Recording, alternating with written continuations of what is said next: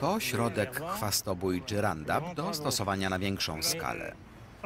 Nowy produkt napisali, że jest biodegradowalny. To stary produkt. Teraz już nie piszą, że jest biodegradowalny. To ten sam środek i pewnie nie mają prawa tak go opisywać. Nie pryśnij mi w twarz. Nie jestem mordercą. Soja odmiany Roundup Ready, czyli tolerująca Roundup, nadaje się do zbioru. Zawiera 11,5% wilgoci. Można ją zbierać. Pierwszy raz przeczytałem o technologii Roundup Ready 8 lat temu. Spodobało mi się to rozwiązanie. Do nasion soi wprowadza się genetycznie zmodyfikowane białko, dające odporność na Roundup. Można nim opryskiwać rośliny. Widzę wyraźne zalety. Na moim polu nie ma chwastu. Należy postępować zgodnie z instrukcją, wtedy Roundup nie będzie szkodliwy dla ludzi, zwierząt ani środowiska.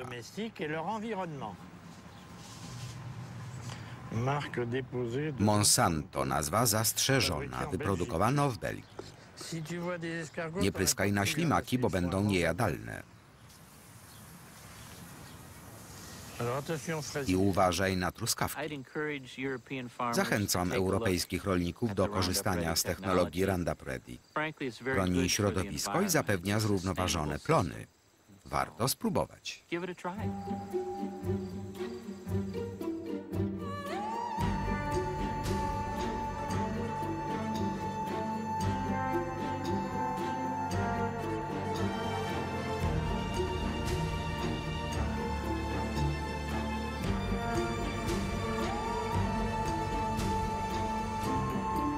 Świat według Monsanto.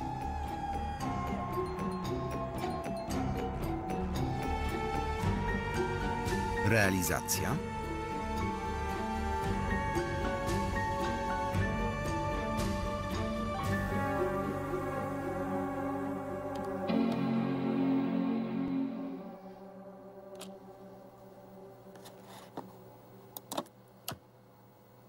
Monsanto Przez 20 lat podróżowałam po świecie i wszędzie ludzie mówili o tej amerykańskiej firmie.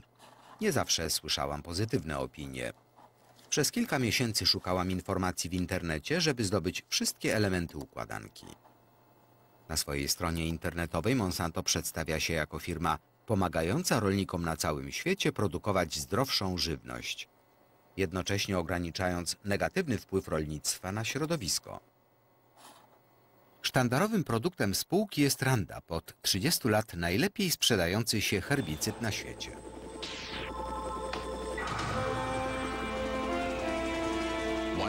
Jeden oprysk. Chwasty znikają. Roundup. Monsanto jest też światowym liderem w biotechnologii. Firma dostarcza 90% modyfikowanych genetycznie odmian GMO na całym świecie. Modyfikacja miała na celu wytworzyć odporność na Roundup. Stąd nazwa Roundup Ready, gotowy na Roundup.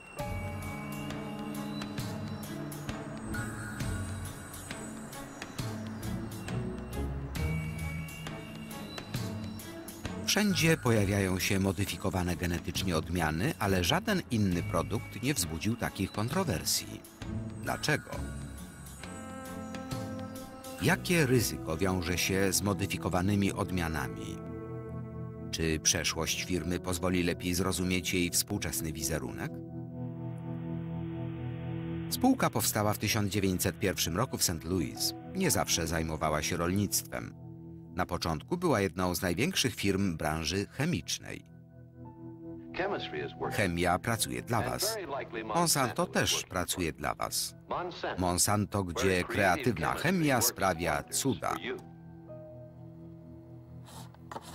Cuda, o których mowa w reklamie, wywołały sporo kontrowersji.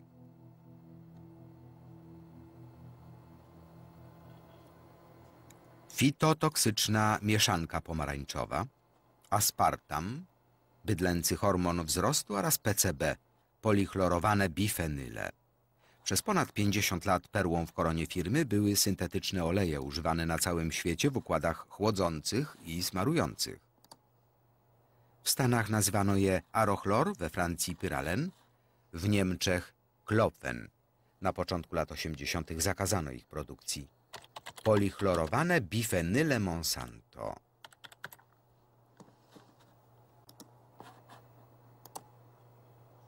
Artykuł Washington Post z 2002. Monsanto przez dekady ukrywało zanieczyszczenia. Chodzi o miasto Aniston w Alabamie.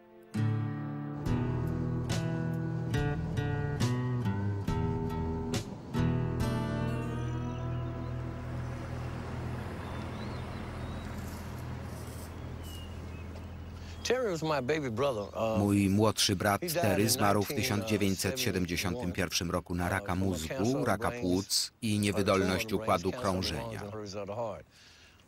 Miał 16 lat. W ciągu ostatnich trzech lat straciłem wielu przyjaciół. Umierali na raka, cukrzycę, zapalenie wątroby i inne choroby związane z polichlorowanymi bifenylami.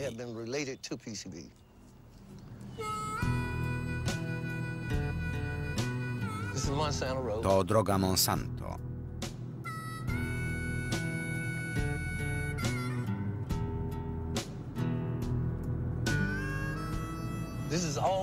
W tej okolicy mieszkają sami Afroamerykanie. Wszystkie domy były skażone. Z pół roku temu oczyścili tamto podwórze.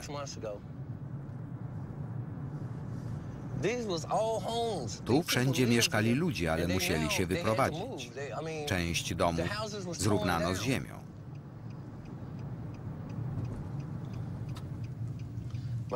Mój brat zmarł obok tego domu, a tu się wychowywałem.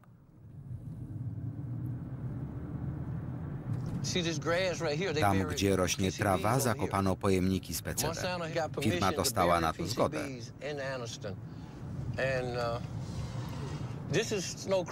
To potok Snow Creek. Tu koryto wylali cementem. Płynie z zakładów, gdzie wylewali do niego polichlorowane bifenyle. Poinformowali władze, ale one nam nic nie powiedziały.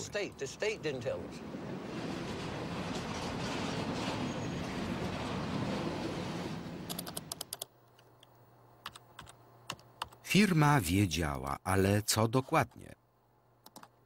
Organizacja Ochrony Środowiska kierowana przez Kena Cooka umieściła dokumenty Monsanto w internecie. Większość sklasyfikowano jako poufne do użytku wewnętrznego. Potem zniszczyć.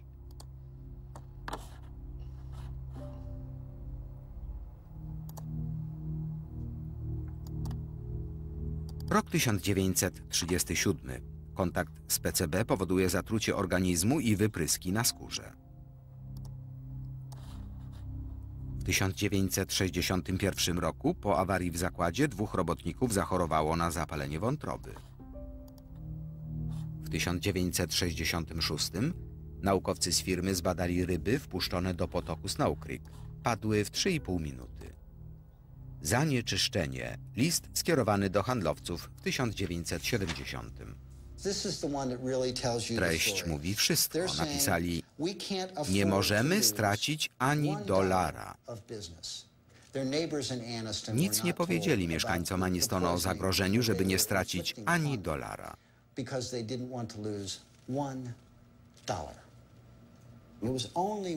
Dopiero gdy prawnicy wystąpili w sądzie w imieniu mieszkańców, firma musiała ujawnić tajne dokumenty, o których istnieniu wiedzieliśmy.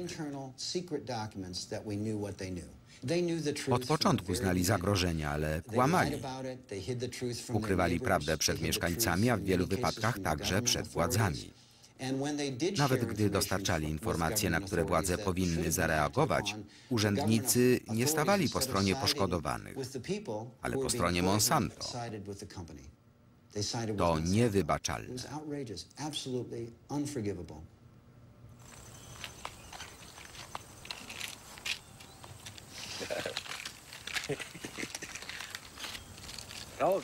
Your medicines? To wszystkie lekarstwa? Mam tu jeszcze kilka. Jaki masz poziom? 63,8 In the we blood. krwi. In the blood. If they took a fatty Gdyby wykonano biopsję, wynik wykazałby probably would top the scales of 3-4 about tysiące cząstek na miliard. Jaki jest dopuszczalny poziom? Dwie uh, na miliard. Takie przyjęto standardy. Ale my mamy więcej tych cząstek we krwi i w organizmie niż inni. anywhere else in the world. Czy to normalne, że mówi się o poziomie polichlorowanych bifenyli? Mówimy o tym, bo to nasza codzienność. Dzieci wołały, że mają ponad 3 na miliard i pytały, jak długo jeszcze pociągną.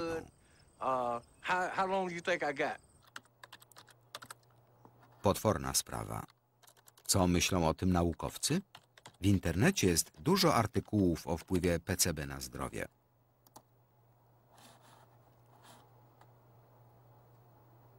David Carpenter jest specjalistą w tej dziedzinie. Przeprowadzał badania wśród mieszkańców Aniston. Wszyscy mamy polichlorowane bifenyle w organizmie, podobnie jak pingwiny czy niedźwiedzie polarne. Dawniej tylko w kilku zakładach dochodziło do uwalniania tych związków. Teraz są już w powietrzu i wodzie. Cały świat jest nimi skażony. Kontakt z PCB powoduje wiele chorób. Wszyscy wiedzą o raku.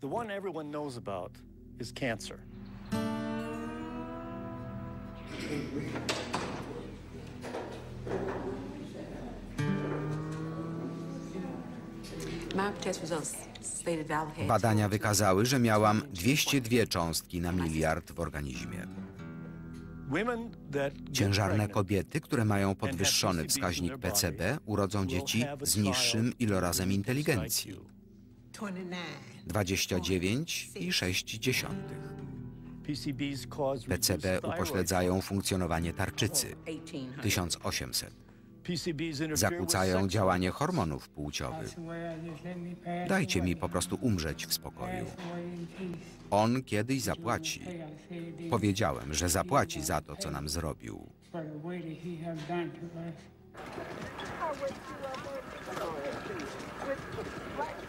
W 2001 20 tysięcy mieszkańców wniosło dwa pozwy.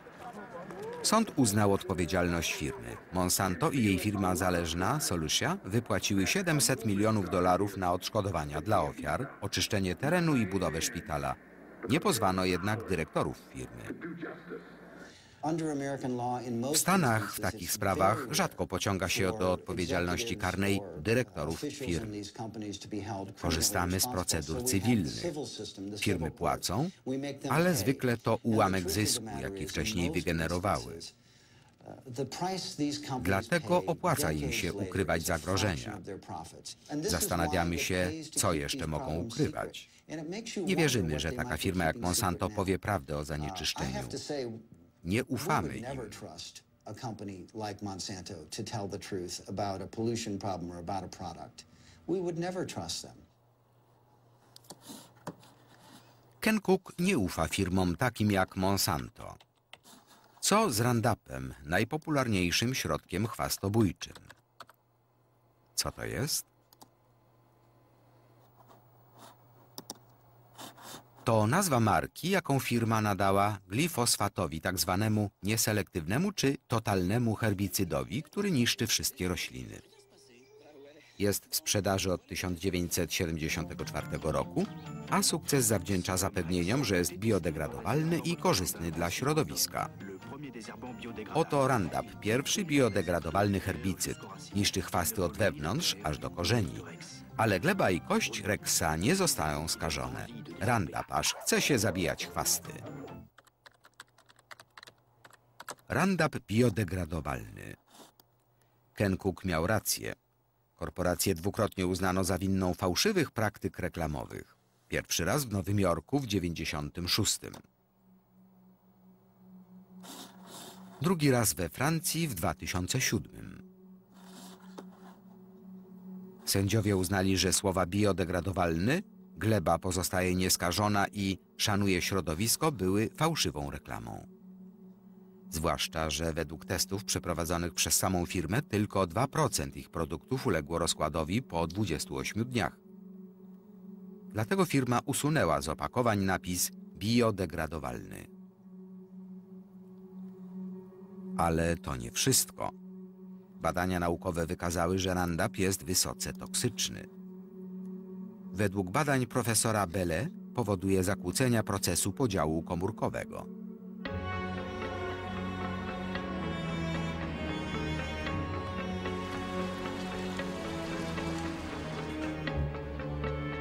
Profesor Belle pracuje we francuskim Centrum Badań Naukowych i w Instytucie Curie we Francji.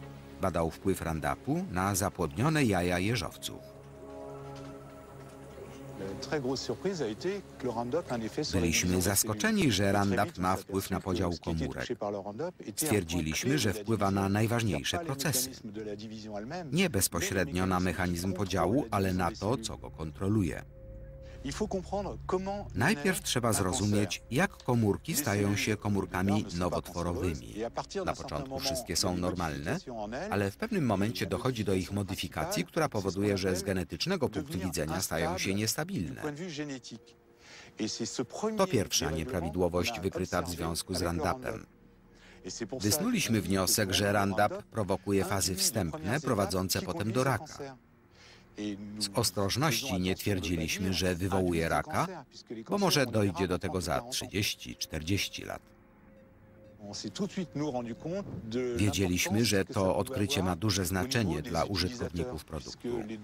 Przetestowane dawki były znacznie mniejsze od przeciętnie stosowanych przez rolników. Uznaliśmy, że musimy jak najszybciej poinformować społeczeństwo o zagrożeniach. Pomyślałem, iż najlepiej poinformować władze, ale przeżyłem szok. Polecono mi, a raczej zakazano informowania o tym fakcie, bo wiązało się to z GMO, genetycznie modyfikowanymi organizmami. Niesłychane.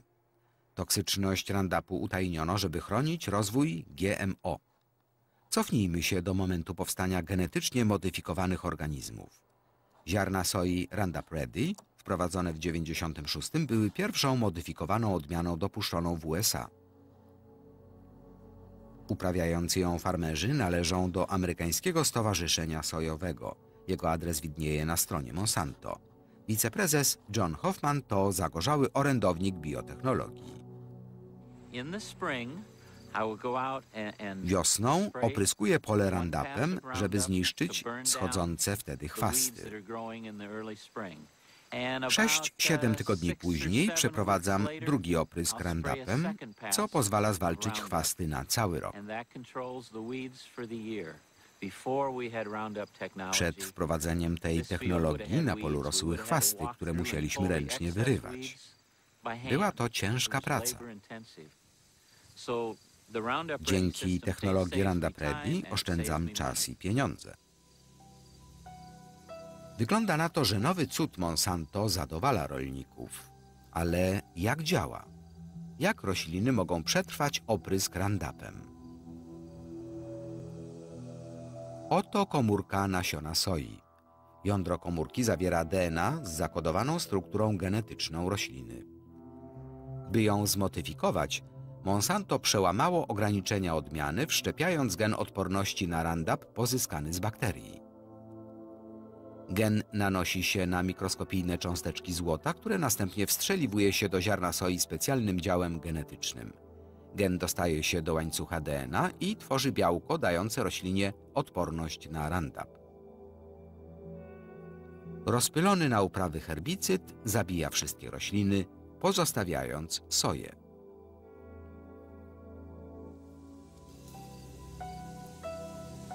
Trzeba przyznać, że to niezwykły proces. Odporna na herbicyd soja ma jednak wylądować na naszych talerzach. Pewnie została dokładnie zbadana, zanim trafiła do obrotu. Kto był wtedy sekretarzem do spraw rolnictwa?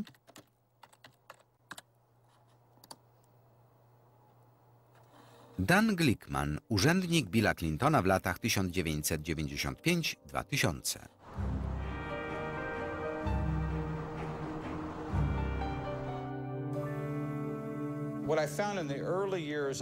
Zajmowałem stanowisko związane z regulacjami w zakresie biotechnologii. Szybko odkryłem, że zdaniem sektora rolnictwa i administracji USA, jeśli nie wydaje się pozwoleń na produkty biotechnologiczne czy wprowadzanie modyfikowanych odmian, jest się antynaukowym przeciwnikiem rozwoju. then somehow you were anti-science and, and anti-progress. Well, W sektorze rolniczym było wiele osób, które nie chciały aż tylu analiz, ile należałoby wykonać, bo za dużo zainwestowali w te produkty. Gdy zostałem sekretarzem do spraw rolnictwa, spotykałem się z naciskami, żeby nie drążyć tej kwestii zbyt głęboko. Nawet gdy mówiłem o tym w ramach administracji Clintona, obrywałem nie tylko od ludzi z sektora rolniczego, ale też od niektórych kolegów.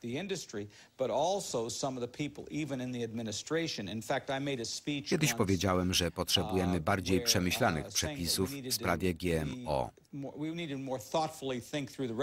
Ludzie odpowiedzialni za handel byli niezadowoleni i zapytali, jak ktoś z rolnictwa może kwestionować ich regulacje.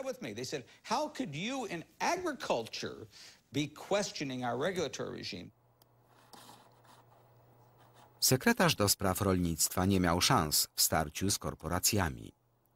Jak uregulowano kwestię modyfikacji organizmów w Stanach? Obowiązującą politykę w kwestii bezpieczeństwa w tej dziedzinie wyznacza FDA, Agencja do Spraw Żywności i Leków. Tytuł Żywność pochodząca z nowych odmian roślin. Data 29 maja 1992. Zasada numer 1. Żywność pochodząca z modyfikacji genetycznych normowana jest w obrębie istniejącej regulacji prawnej dotyczącej żywności pochodzącej z upraw tradycyjnych.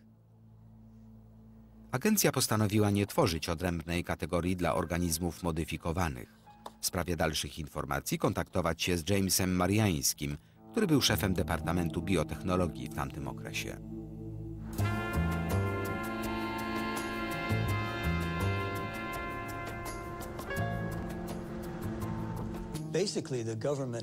Rząd postanowił nie tworzyć nowych regulacji, uznając, że istniejące przepisy umożliwiają instytucjom rządowym skuteczne działanie w zakresie nowych technologii.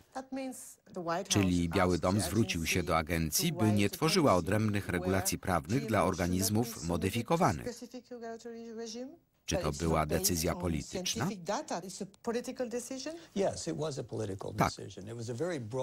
I nie dotyczyła tylko żywności, ale wszystkich produktów biotechnologicznych. Niewiarygodne. Mariański przyznaje, że przepisy dotyczące GMO opierały się na polityce, a nie na nauce. Jak to usprawiedliwiono? Zasada numer dwa. Składniki będące rezultatem modyfikacji genetycznych rośliny uznaje się za takie same lub zasadniczo równoważne z substancjami zwykle zawartymi w żywności. Agencja doszła do wniosku, że genetycznie zmodyfikowana roślina jest równa zwykłej. Regułę zasadniczej równoważności przyjęto na świecie. To główny temat debaty między zwolennikami a przeciwnikami GMO. Jak agencja mogła dojść do wniosku, że genetycznie zmodyfikowane rośliny są takie same jak konwencjonalne? Wiemy, że wprowadzane obecnie dzięki biotechnologii geny wytwarzają białka bardzo podobne do białek, które spożywamy od wieków.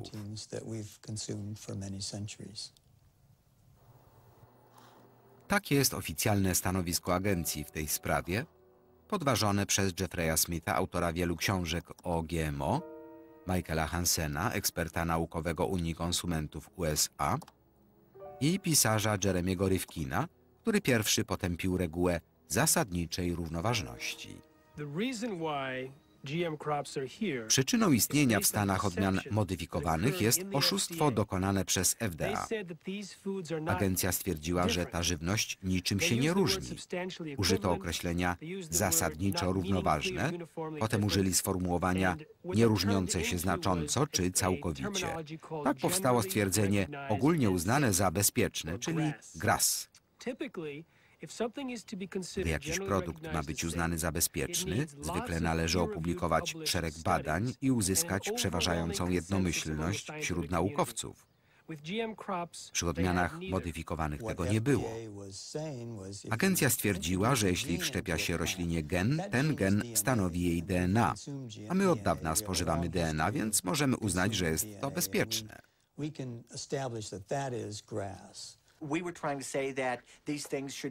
Takie produkty powinny być uznane za dodatki do żywności. Jeśli chcemy zastosować minimalną dawkę nowego barwnika lub konserwantu, uznaje się je za dodatek, który musi przejść określone procedury.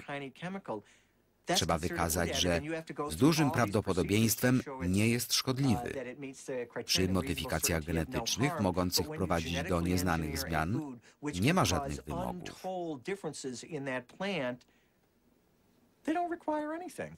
Here in Washington, Gdybyśmy w Waszyngtonie wybrali się wieczorem na drinka do baru, gdzie spotykają się lobbyści, śmialiby się nam w nos, bo wiedzą, że reguła zasadniczej równoważności to kpina.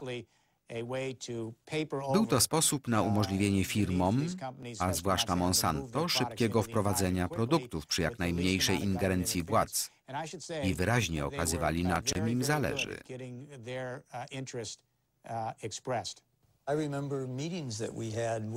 Pamiętam spotkania naukowców z Monsanto z naukowcami z agencji. Pokazywali rodzaje i sposoby wprowadzania modyfikacji, jednocześnie jakby pytając, jakie będą regulacje odnośnie danego produktu. Nigdy nie spotkałem się z sytuacją, żeby jedna firma miała tak duży wpływ na organy władzy na najwyższym szczeblu, jak Monsanto z polityką GMO.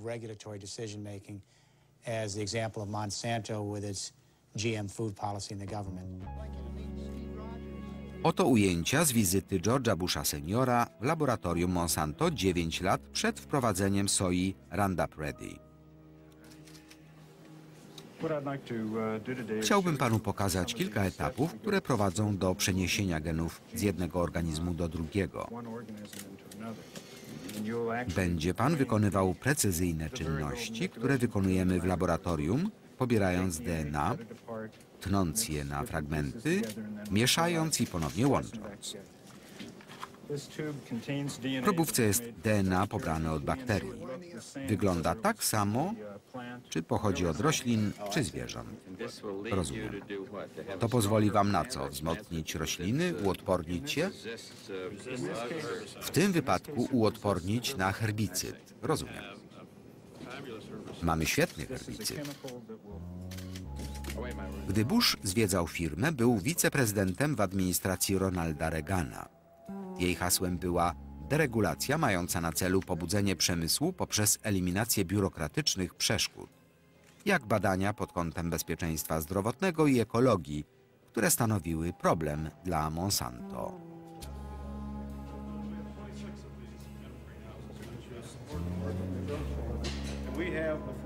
Otrzymaliśmy żądanie od Departamentu Rolnictwa, żeby przeprowadzić w tym roku badania na farmie w Illinois. To koszmar. Koszty rosną i nic się nie dzieje. Nie skarżymy się na Departament Rolnictwa, bo mają swoje procedury. Muszą się upewnić, że uważnie podchodzą do nowości. Ale jeśli nie dostaniemy pozwolenia do września, zaczniemy mówić inaczej. Zadzwońcie do mnie, zajmiemy się ograniczeniem kontroli. W 1988, gdy Bush senior objął prezydenturę USA, Dan Quayle został wiceprezydentem. Cztery lata później przedstawił politykę USA w sprawie organizmów modyfikowanych dokładnie w takiej postaci, jak chciała firma Monsanto. Podejmujemy te działania w ramach drugiej fazy procesu znoszenia kontroli. Stany Zjednoczone są światowym liderem w zakresie biotechnologii i chcemy, żeby tak zostało. W 1991 roku branża osiągnęła wartość 4 miliardów dolarów. Do roku 2000 powinna osiągnąć poziom 50 miliardów, o ile nie wprowadzimy niepotrzebnych regulacji. Myśli pan, że to był spisek? Spisek to mocne słowo. Z punktu widzenia korporacji było to genialne przejęcie. Uh, Michael Taylor został Taylor deputowanym komisarzem agencji FDA akurat wtedy, gdy mieli ustalać nową politykę. Kim jest Michael Taylor? W internecie widnieje tylko jedno zdjęcie człowieka, który kiedyś skrycie używał władzy. Dziś przewodniczy fundacji Zasoby dla przyszłości.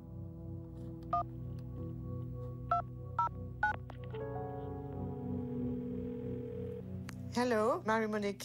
Mówi Mary. Monique. Dzień dobry, Mike Taylor. Mam pytanie o pańską rolę, gdy pracował pan dla FDA. Zanim tam pana zatrudniono przez worked 7 as lat pracował pan jako prawnik Monsanto, Byłem partnerem w kancelarii prawniczej, której klientem była firma Monsanto i zajmowałem się jej sprawami.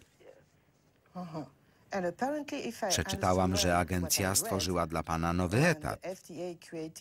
Deputowany komisarz do spraw polityki. Ponoć pojawiła się taka potrzeba w uh, związku z nowymi GMO. nothing To nie miało nic wspólnego z GMO. Nie byłem autorem tej polityki. To po prostu nieprawda.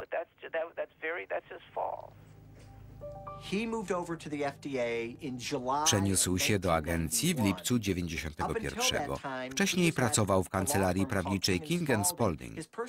Jego klientami była nie tylko firma Monsanto, ale też Międzynarodowa Rada Żywności i Biotechnologii. Przygotował dla nich projekt uregulowania prawnego modyfikowanej genetycznie żywności.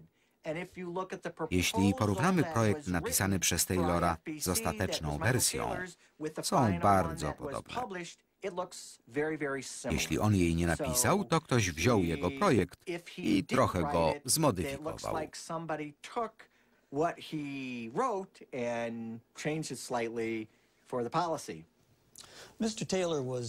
Um, Pan Taylor był wtedy deputowanym komisarzem i jednocześnie kierownikiem tego projektu. um.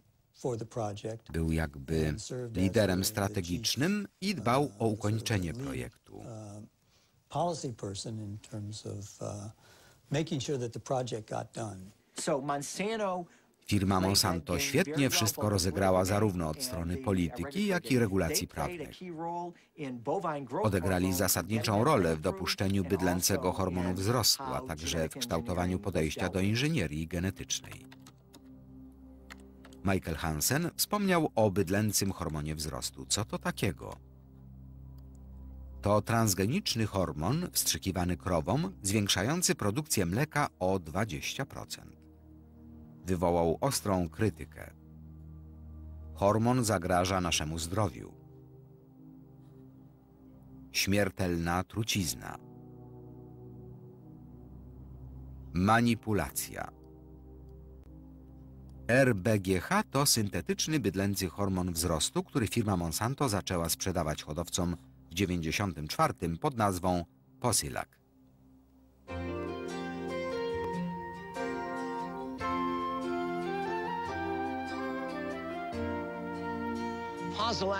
Posilac to najlepiej przetestowany produkt w historii. Szybko zauważycie pozytywne wyniki, jakie da wam Posilac. W 1995 roku firma Monsanto wystąpiła do FDA o dopuszczenie Posilaku na rynek. Eksperci weterynaryjni agencji przejrzeli wyniki badań przeprowadzonych na eksperymentalnych stadach. Weterynarzem odpowiedzialnym za analizę był Richard Burroughs. W wywiadzie stwierdził, że urzędnicy agencji ukrywali dane i nimi manipulowali.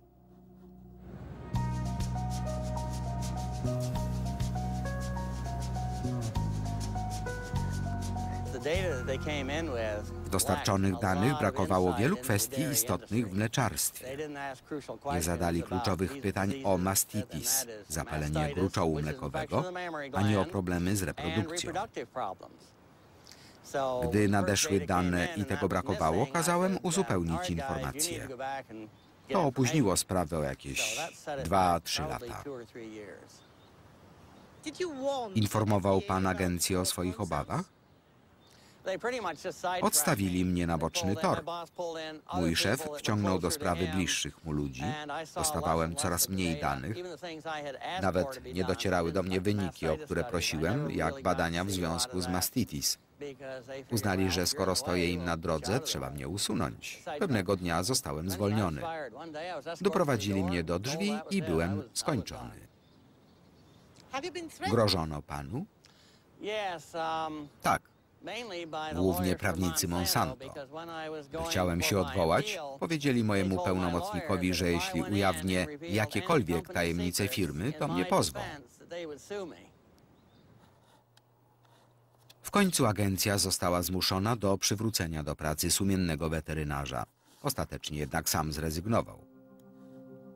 W internecie jest też mowa o aktach, które skradziono z agencji i wysłano do doktora Samuela Epsteina, przewodniczącego koalicji w sprawie zapobiegania rakowi.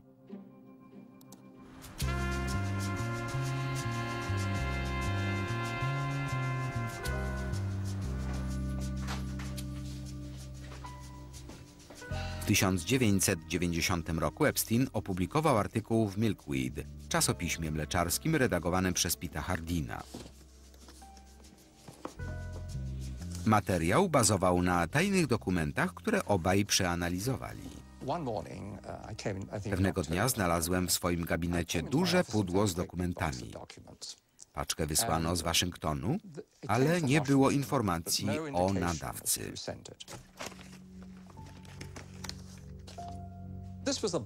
W pudle były wszystkie dokumenty Monsanto złożone w agencji, a dotyczące badań weterynaryjnych z sześciu lat. Bardzo się ucieszyłem. Wiele z tych dokumentów to oryginały i jak tu napisano, poufne. Zawierają poufne informacje i nie mogą być powielane, ujawniane osobom nieupoważnionym ani wysyłane poza firmę bez stosownego upoważnienia. Jako dziennikarz śledczy o takich właśnie sprawach lubię pisać. Ujawnienie tych dokumentów rozwścieczyło agencję i Monsanto, bo udało nam się ustalić, że u zwierząt, które otrzymały zastrzyk hormonalny, występowały drastyczne zmiany fizjologiczne w porównaniu z rówieśniczym stadem kontrolnym.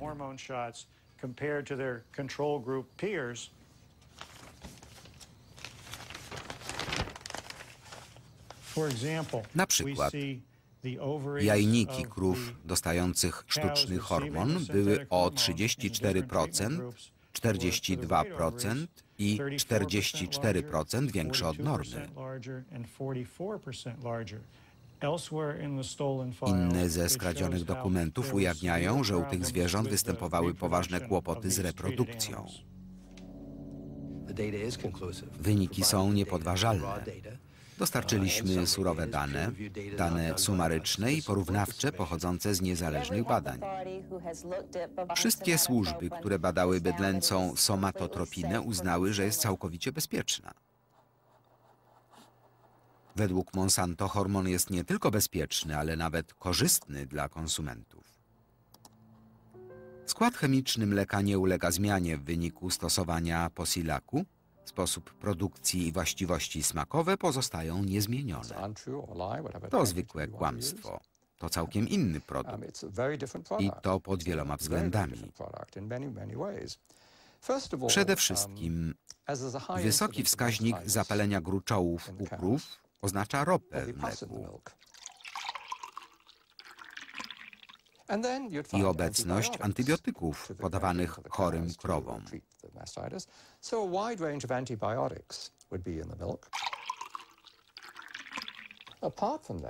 Poza tym, co też jest niezwykle istotne, wzrost poziomu IGF-1, insulinopodobnego czynnika wzrostu 1. Przeprowadzono około 60 badań wiążących podwyższony poziom IGF-1 z częstszym występowaniem raka piersi, okrężnicy i prostaty. Aż trudno w to uwierzyć. Czy są inne kraje, które dopuściły RBGH? Hormon został zakazany w Europie i Kanadzie. Dziwne, bo Kanada zwykle opiera swoją politykę na zaleceniach FDA. Skandal zdrowotny z RBGH w Kanadzie.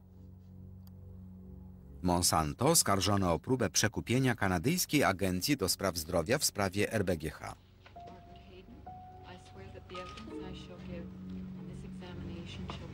Październiku 98 trójka naukowców z kanadyjskiej agencji do spraw zdrowia zeznawała przed komisją senacką, by zapobiec dopuszczeniu transgenicznego hormonu. Skandal nagłośniono dzięki doktorowi Shivowi Choprze.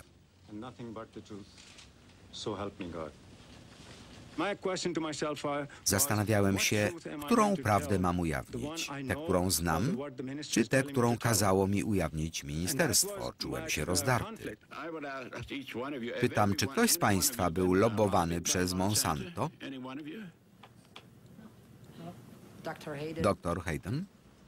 Uh, Uczestniczyłam w uh, spotkaniu w roku approximately about 89 lub 90. 1990, uh, and Monsanto Przedstawiciele Monsanto spotkali się ze mną i moim przełożonym doktorem Grenonem i doktorem Messierem.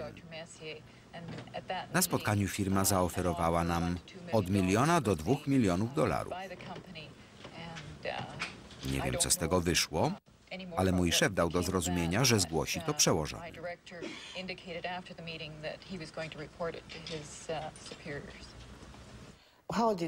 Jaka była reakcja firmy? Nie zaprzeczyli, że zaproponowali milion czy dwa miliony, ale potem twierdzili, że chodziło o prowadzenie dalszych badań w Kanadzie czy nad kanadyjskim bydłem. uh, uh, W. Kanadzie ostatecznie lek ten nie został zatwierdzony. Parlament Europejski, opierając się na kanadyjskich doświadczeniach, całkowicie go zakazał na zawsze. a potem cała nasza trójka została zwolniona za niesubordynację.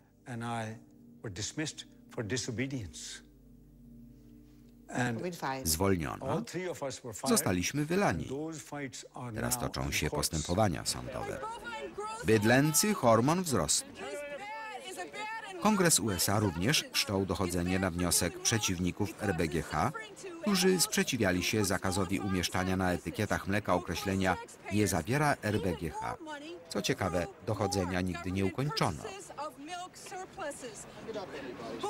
Bydlęcy hormon wzrostu RBGH to test konsumenckiej akceptacji inżynierii genetycznej. Do śmietnika.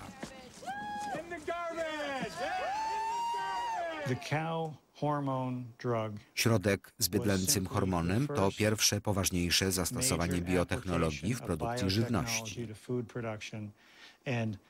Monsanto to potężna korporacja z licznymi powiązaniami z władzami. government. administracji federalnej Uh, cechował pogląd, że biotechnologia jest tak ważna, iż nie można pozwolić, by zaszkodziło jej kilka wątpliwości co do bezpieczeństwa krów lub ludzi.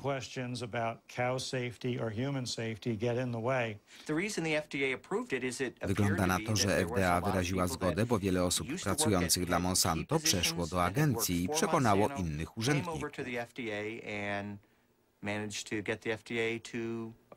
To jak drzwi obrotowe czy karuzela stanowisk, jak podwójna spirala, drzwi obrotowe. Coś takiego działa nie tylko w rolnictwie, ale w wielu innych sektorach.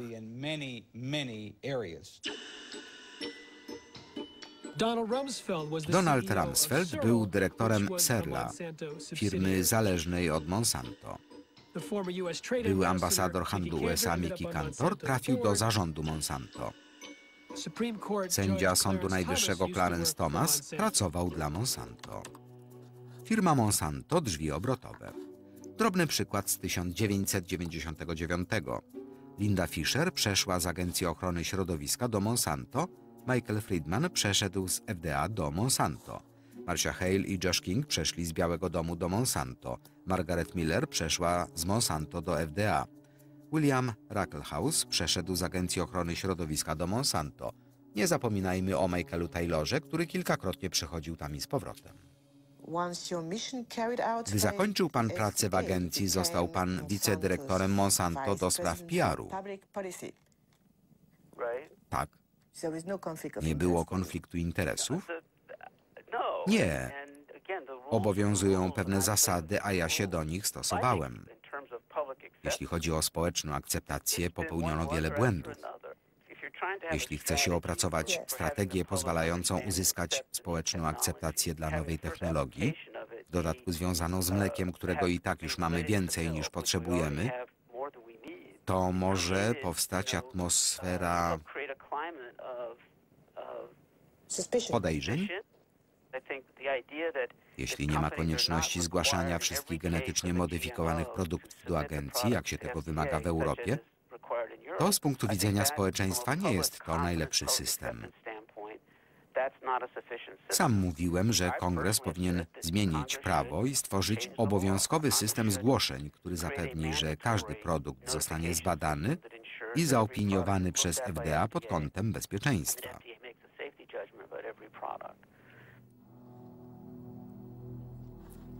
To bardzo ciekawe oświadczenie.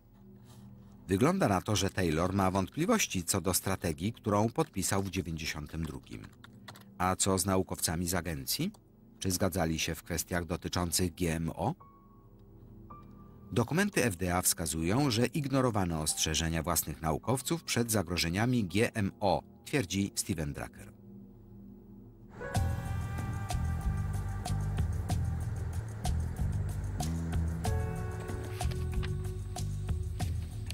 Prawnik Steven Drucker reprezentuje koalicję stowarzyszeń non-profit.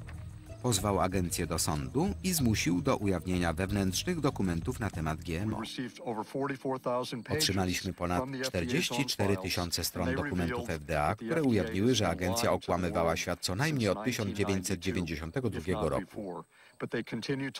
I nadal kłamie twierdząc, że społeczność naukowa zasadniczo się zgadza, że modyfikowana żywność jest równie bezpieczna jak produkty tradycyjne i że ma dane potwierdzające ten konsensus. Oba te stwierdzenia są kłamliwe.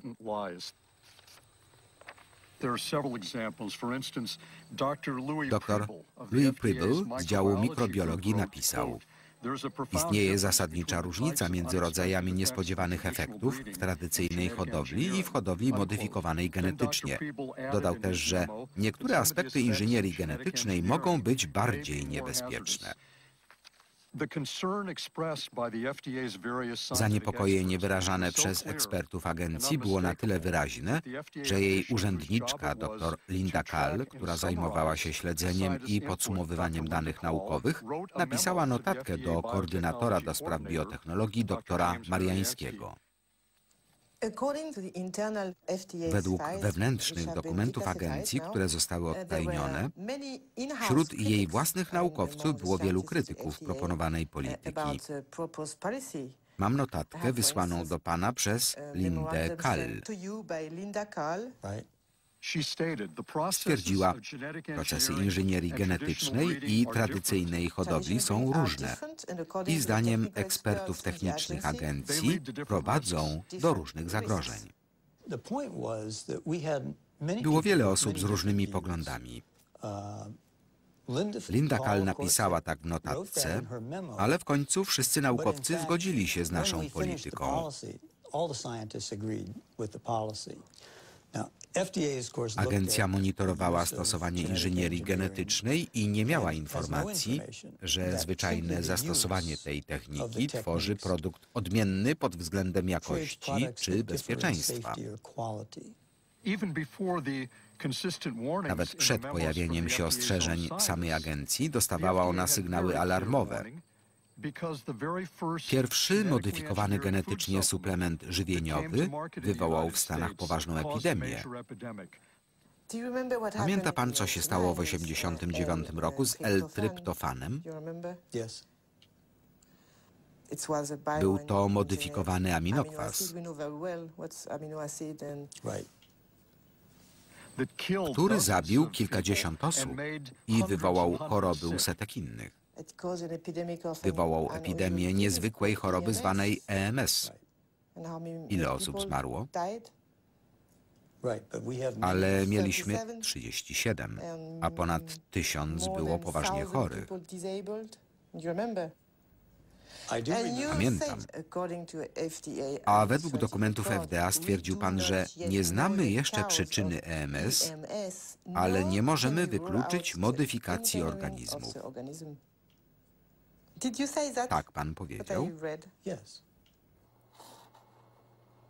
Niesamowite Mariański nie wyklucza możliwości, że genetyczne manipulacje spowodowały niespodziewane skutki uboczne, ale nic nie zrobił. Czy jakiś niezależny naukowiec badał tę tak ważną dla konsumentów sprawę?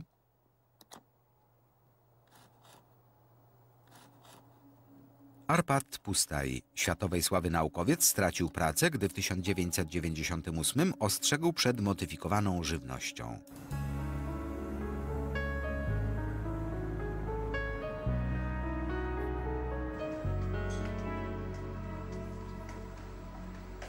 Pracował w Instytucie Badawczym w Szkocji. Na zlecenie Ministerstwa Rolnictwa badał genetycznie modyfikowane ziemniaki. Budżet przekraczał 2 miliony euro. 30-osobowy zespół badaczy miał przygotować Wielką Brytanię na GMO. Byliśmy entuzjastycznie nastawieni. Ministerstwo uważało, że jeśli przeprowadzimy dogłębne badania, będzie to dobry początek dla GMO. Gdy je wprowadzą, powiedzą, że najlepsze laboratorium w Europie je sprawdziło i stwierdziło, że są w porządku. Nutritional laboratory had uh, looked at them and they found them all right. Arpad Pustaj specjalizuje się w lektynach. Te proteiny działają jak środki owadobójcze, chroniąc rośliny przed mszycami. Naukowcy stworzyli ziemniaka odpornego na mszyce, któremu wszczepili gen wytwarzający odpowiednią lektynę. Wcześniej ustalili, że w postaci naturalnej same lektyny nie stanowią zagrożenia dla zdrowia. Genetycznie zmodyfikowane ziemniaki przebadano na szczurach. Pojawiły się dwojakie efekty. Po pierwsze, powodowały zmiany proliferacyjne jeli, a to niedobrze. Nie twierdzę wprost, że były rakotwórcze, ale mogły sprzyjać rozwojowi wywołanego chemicznie guza. Kolejna sprawa. Uruchamiał się system odpornościowy i nie wiedzieliśmy, czy to dobrze, czy źle. Organizm rozpoznawał modyfikowane ziemniaki jako obce. Byliśmy pewni, że problem powoduje proces wszczepiania genu, a nie sam transgen. Gdy sprawdzaliśmy wyizolowany transgen, nawet przy 800-krotnym stężeniu, nie powodował uszkodzeń. To bardzo ważna sprawa, bo amerykańskiej agencji do spraw żywności i leków chodziło o technologię. Nasza publikacja stanowiła potwierdzenie, że to nie transgen powoduje problemy, ale sama technologia. The transgene, which was the problem, but it was the technology. Kiedy pierwsza genetycznie zmodyfikowana soja dotarła do Wielkiej Brytanii, przełożeni Pustaja upoważnili go do udzielenia wywiadu dla BBC. Jako czynny naukowiec uważam, że byłoby bardzo nieuczciwe, gdybyśmy traktowali naszych obywateli jako króliki doświadczalne. To use uh, our fellow citizens as uh, guinea pigs. They will never forgive me for that. Nigdy mi tego nie wybaczą. Firma Monsanto doceniła istotę naszych badań. Wiedzieli o tym jeszcze przed emisją programu, bo Szkocki Instytut Badań Plonów otrzymał od nich mnóstwo pieniędzy. Szybko pojęli możliwe implikacje.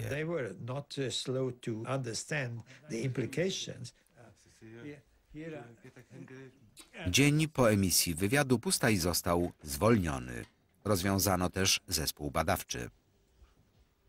Dr Stanley Ewen odpowiadał za ocenę wpływu zmodyfikowanych ziemniaków na wewnętrzne narządy szczurów i nie ma złudzeń co do niezależności naukowej. Byłem zły i zaniepokojony. Zawalił mi się cały świat. Nie wiedziałem, co się dzieje. Poza Arpadem i mną zaczęli też dyskredytować Stanleya. Odesłano go na emeryturę i zdyskredytowano na uniwersytecie. Było nam bardzo ciężko. W poniedziałek mieliśmy pracę, we wtorek zostały zgliszcza. Miałem pewne niesprecyzowane podejrzenia.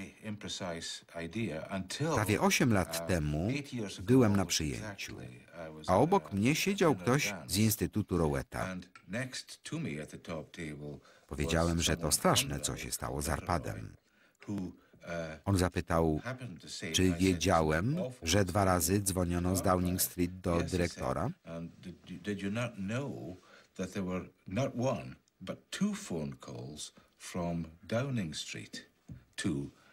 Wtedy pojąłem, co się dzieje.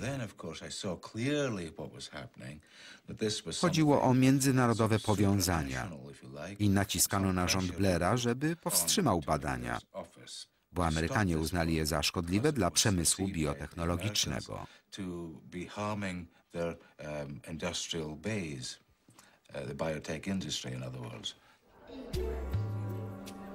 Sprawa Pustaja wywołała w Wielkiej Brytanii masowe odrzucenie GMO koordynowane przez Greenpeace. Rok później Robert Shapiro, wówczas dyrektor Monsanto, zgodził się wziąć udział w konferencji organizowanej przez ekologów.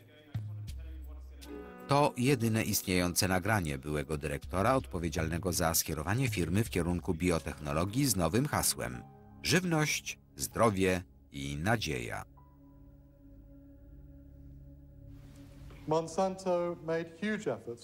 Firma Monsanto czyniła wysiłki, by jej produkty znalazły się dosłownie wszędzie. Korzystała ze wsparcia międzynarodowych producentów żywności, kupców, firm komunikacyjnych, a nawet rządów. Nie zachowujecie się jak firma oferująca życie i nadzieję, lecz jak tyrani, wciskający nam swoje produkty. Jeśli jestem tyranem, to niezbyt skutecznym. Pragnę podkreślić, że biotechnologia jest narzędziem. Sama w sobie nie jest zła ani dobra. Można jej użyć w dobry albo zły sposób. Produkty, które trafiły na rynek, przebadano zgodnie z ustalonymi procedurami mającymi zapewnić nie tylko bezpieczeństwo, lecz również ochronę środowiska.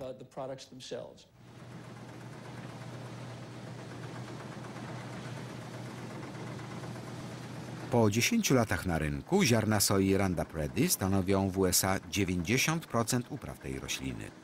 70% żywności w amerykańskich sklepach zawiera składniki modyfikowane. Konsumenci nie mogą dokonać świadomego wyboru, bo zakazano znakowania produktów jako genetycznie modyfikowanych. To skutki przyjęcia reguły zasadniczej równoważności. Trzymam w dłoni ziarenko soi i mogę je całkiem bezpiecznie zjeść. Agencja ma pewność, że ziarno soi modyfikowane jest równie bezpieczne jak inne jej odmiany. Skąd ta pewność? Tak wynika z danych dostarczonych przez firmę i sprawdzonych przez naukowców z agencji. W interesie firmy nie leży prowadzenie badań, które by kamuflowały wyniki.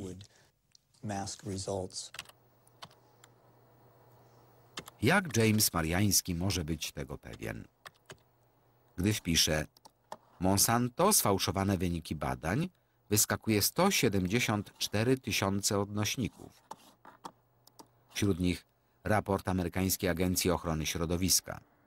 Monsanto oskarżone o fałszowanie wyników badań dotyczących rakotwórczości dioksyn.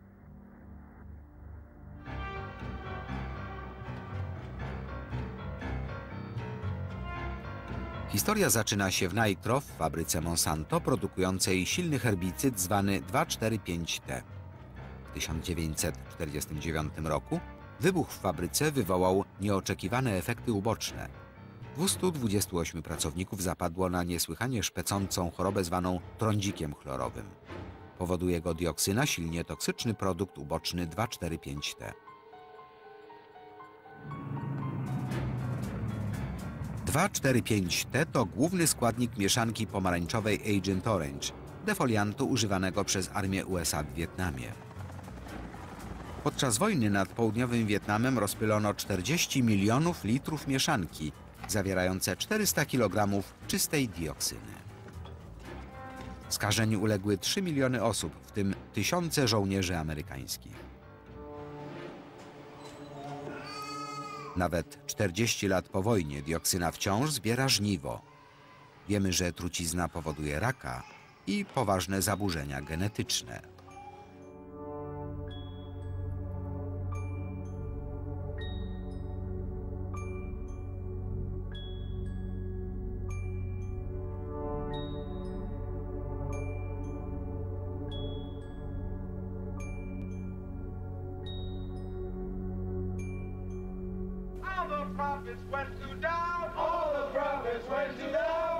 1978, gdy amerykańscy weterani pozwali producentów mieszanki pomarańczowej, Monsanto sponsorowało badania nad długotrwałymi skutkami dioksyn.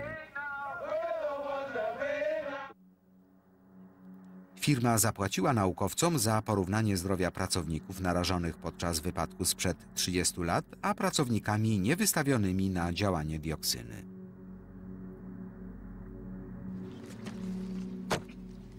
Zapytaliśmy dwóch ekspertów. Williama Sanjura, który działał w Agencji Ochrony Środowiska działaniem do spraw odpadów toksycznych i Gersona Smogera, prawnika reprezentującego weteranów z Wietnamu. W 1990 koleżanka z agencji dr Kate Jenkins napisała w sprawozdaniu, że istnieją podejrzenia, iż badania robione przez Monsanto zostały sfałszowane. Gdyby przeprowadzono je poprawnie, wyniki byłyby dokładnie odwrotne. Firma Monsanto twierdziła, że dioksyna nie jest rakotwórcza.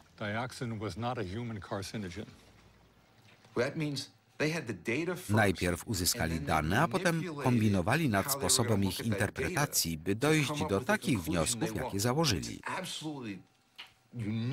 Nigdy nie prowadzi się badań w ten sposób. Poprowadzili je całkowicie błędnie i uzyskali to, co chcieli. Później się okazało, że ludzie chorujący na raka figurowali w jednym z dwóch badań jako osoby wystawione na działanie dioksyny, a w drugim jako niepoddane jej działaniu.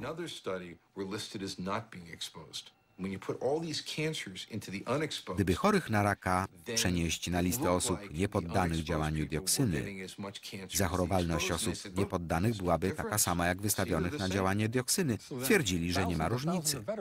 Tysiące weteranów straciło przywileje należne za zatrucie defoliantem. Przez 7-9 lat polityka w Stanach opierała się na wynikach tych badań. Kay Jenkins była dobrym naukowcem i pracownikiem agencji, a także bardzo odważną osobą. Napisała do Naukowej Rady Doradczej wniosek o sprawdzenie tych dwóch badań pod kątem poprawności. Nie wszczęto dochodzenia w sprawie Monsanto. Nikt nie zrewidował tych badań. Sprawdzili za to Kay Jenkins, która uderzyła na alarm. Zmienili jej życie w piekło. Nękali ją, przesuwali na inne stanowiska, po prostu ją prześladowali. Czy dziś wierzy pan firmie Monsanto, która twierdzi, że jej produkty modyfikowane są bezpieczne? Nie wierzę w ani jedno słowo. Mógłbym zaufać niezależnym źródłom, które by zweryfikowały ich twierdzenia, w zależności co to za źródła i jak bardzo niezależne. Otóż to. By udowodnić bezpieczeństwo soi Randapredy, firma Monsanto przeprowadziła badania opublikowane w 1996 w poważanym czasopiśmie naukowym. Badania miały ocenić wpływ modyfikowanej soi na zdrowie zwierząt, a zwłaszcza szczurów.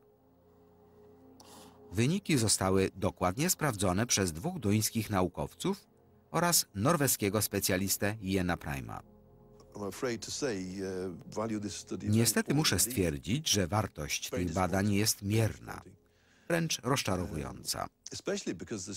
Niedobrze, że te dokumenty posłużyły jako podstawa przyjęcia reguły zasadniczej równoważności. Zacytuję dość zaskakujący fragment. Badania zwierząt dają jakąś pewność, że nie zachodzą wielkie zmiany. Wolałbym stuprocentową pewność, a nie jakąś. Na stronie 723 napisano Poza ciemniejszym brązowym zabarwieniem podczas sekcji wątroby wyglądały normalnie. Nie można tego stwierdzić, nie zaglądając do wnętrza, nie badając zawartości wątroby i bez obejrzenia próbek pod mikroskopem. Używali starszych szczurów. Jeśli chce się uniknąć problemów, można wziąć dorosłe zwierzęta, ale gdy się chce zbadać ewentualne zmiany, należy użyć młodych szczurów. W pewnym sensie jest to nienaukowe podejście, bo brakuje wielu danych, które powinni podać. Czy próbował pan uzyskać dostęp do surowych danych? Ja nie, ale kolega próbował. Stracił sporo czasu chodząc po różnych biurach, ale i tak mu odmówili.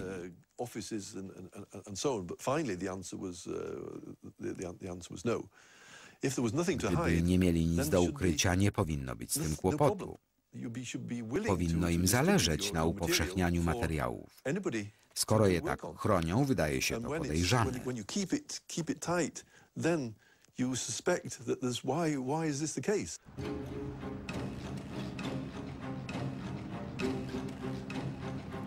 Jedno jest pewne. Dzięki ograniczonym badaniom modyfikowane genetycznie produkty Monsanto zalały świat, zwłaszcza obie Ameryki, Azję i Australię. Po zaledwie 10 latach uprawy transgeniczne zajmują ponad 100 milionów hektarów. 70% jest odporna na Roundup, a 30% zmodyfikowano, by wytwarzały środek owadobójczy zawierający hybrydy genu BT.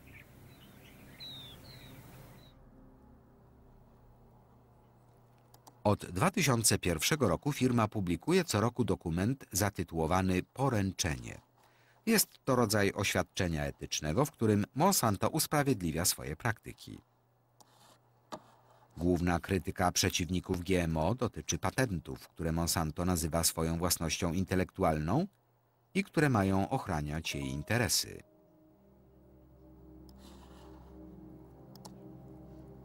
W Ameryce Północnej każdy farmer kupujący modyfikowane nasiona musi podpisać umowę technologiczną, której zobowiązuje się do respektowania patentu firmy na zmodyfikowany gen. Modyfikowane uprawy są chronione przez amerykańskie prawo patentowe. Dlatego też nie wolno zatrzymywać nasion, by wysiać je za rok. Takie prawo chroni Monsanto i inne firmy, które inwestują miliony dolarów w biotechnologię.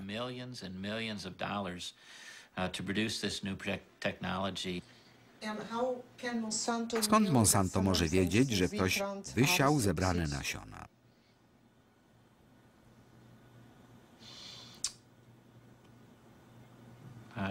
Nie wiem, co odpowiedzieć. Skąd by wiedzieli, że ktoś je wysiał? Dobre pytanie do Monsanto.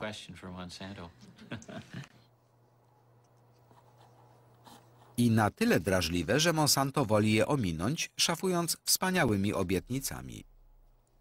W przypadku nieumyślnego pojawienia się naszych odmian na polu farmera, z pewnością rozwiążemy ten problem ku zadowoleniu obu stron.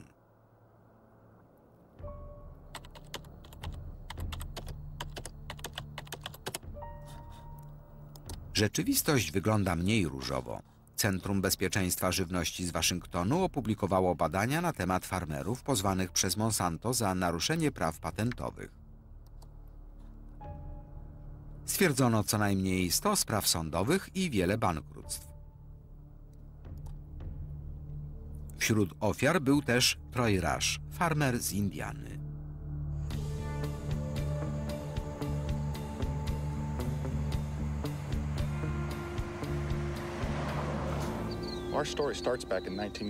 Nasza historia zaczęła się w 1999. Na farmie moich rodziców pojawił się pewien pan i twierdził, że jest prywatnym detektywem wynajętym przez Monsanto. Sprawdzał, czy farmerzy nie zatrzymują nasion. Zapytał nas, czy zachowaliśmy nasiona. Zaprzeczyliśmy. Pokazaliśmy mu rachunki na zakup herbicydów i nasion oraz poinformowaliśmy, co gdzie kupowaliśmy, żeby mógł to sprawdzić. Ale odmówił.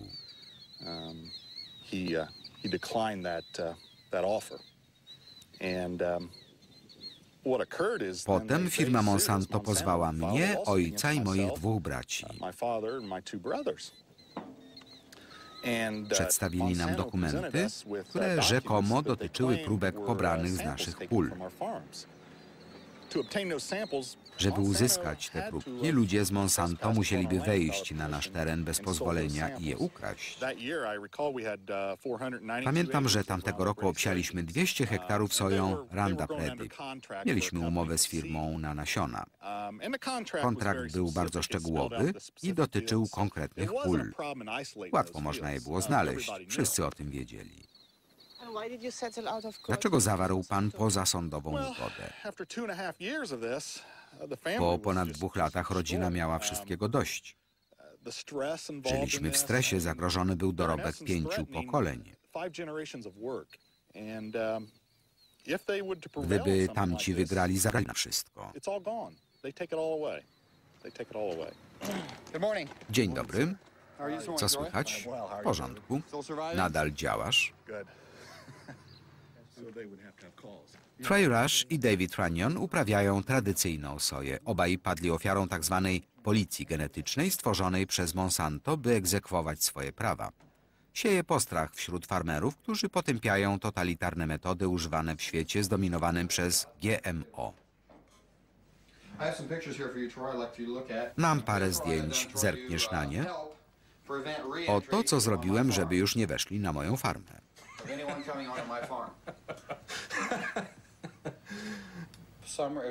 W lipcu 2003 roku przyszli do mnie około 19. Kto przyszedł? Pracownicy Monsanto. Pokazali wizytówkę i pytali, jaką uprawiam soję i jaką kukurydzę oraz gdzie sprzedaję plony. Powiedziałem, że kończymy rozmowę. Patenty wszystko zmieniły. Popsuły się stosunki z sąsiadami. Nie mamy już do siebie zaufania. Teraz przyjaźnię się już tylko z dwoma farmerami. Rolnicy naprawdę się boją? Ależ tak. Nie obronimy się przed ludźmi Monsanto. Stworzyli cały dział mający zniszczyć farmerów. Dlatego ludzie się boją. Obawia się pan, że sąsiedzi mogą na pana donieść? Tak. Wystarczy zadzwonić pod 1-800 Monsanto. Przepraszam, 1-800 Roundup. Zachęcali farmerów do dzwonienia na ten darmowy numer i donoszenia na sąsiadów. Po co firma to robi? Chcą sprawować kontrolę nad nasionami. Chcą kontrolować nasiona i życie. Mówimy o podstawowym produkcie spożywczym. Firma chce przejąć na własność całą żywność. W latach 1995-2005 Monsanto przejęło ponad 50 firm nasienniczych na całym świecie. Firmy produkowały nasiona kukurydzy, bawełny, pszenicy i soi, a także pomidorów, ziemniaków i sorgo. Ludzie obawiają się monopolu Monsanto, który w perspektywie oznacza zniszczenie wszystkich nietransgenicznych odmian. Monsanto się nie zgadza i mówi o zaletach biotechnologii, zwłaszcza w krajach rozwijających się jak Indie. Nasze produkty przynoszą znaczne korzyści gospodarcze większym i mniejszym producentom. W wielu przypadkach rolnicy mogą uzyskać lepsze jakościowo i wydajniejsze plony.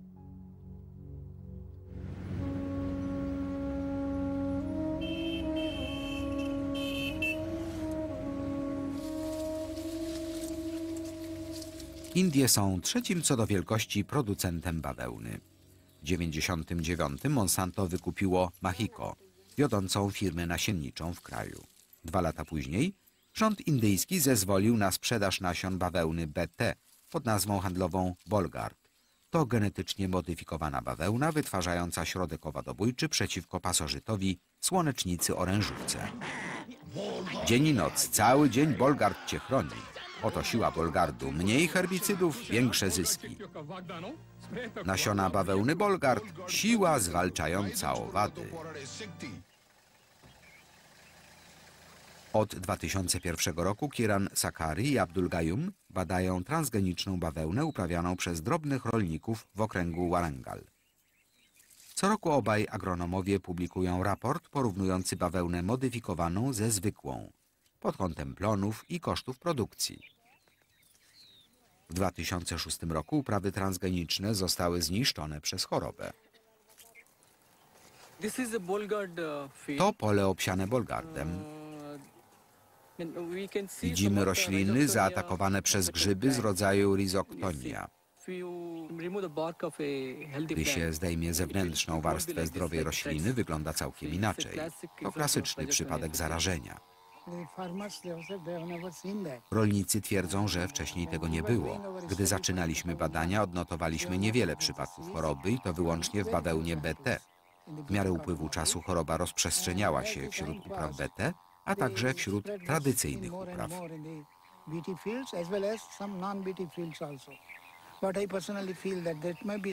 Moim zdaniem pojawiła się niepożądana interakcja między nasionami, w które wszczepiono gen, a genem zawierającym BT. Dlatego rośliny nie są odporne na grzyby z rodzaju Rhizoctonia.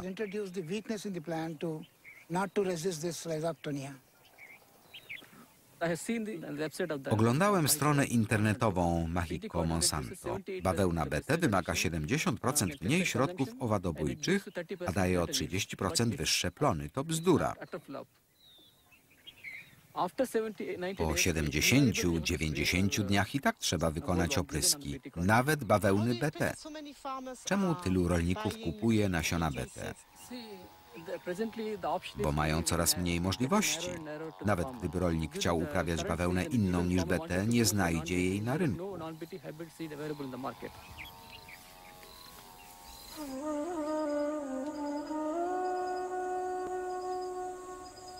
Dziś w Indiach Monsanto kontroluje prawie cały rynek nasion bawełny. Faktyczny monopol zmusza rolników do kupowania transgenicznych nasion po cenach czterokrotnie wyższych od odmian konwencjonalnych.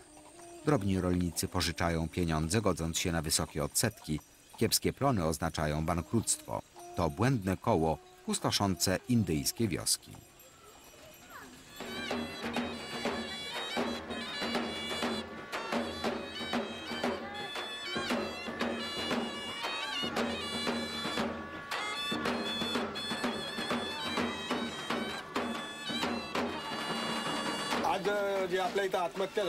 Dlaczego popełnił samobójstwo? Kiepskie zbiory. Bawełna BT? Tak. Były inne powody? Długi. Ile miał lat? 25. Wypił litr pestycydu.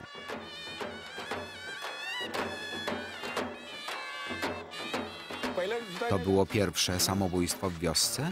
Drugie.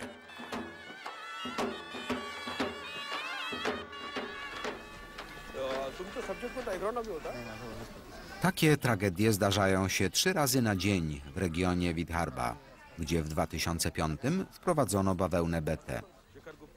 Samobójstwa rolników to w Indiach nic nowego, jednak odmiana BT doprowadziła do ich gwałtownego wzrostu. W tej walce Dawida z Goliatem niewielu odważyło się mówić publicznie o międzynarodowym skandalu.